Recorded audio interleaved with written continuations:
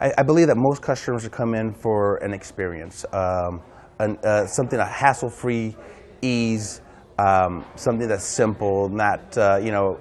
I always hear that uh, the the horror stories of of I, I you know I got to the dealership at eight o'clock in the morning and I didn't leave till seven o'clock p.m.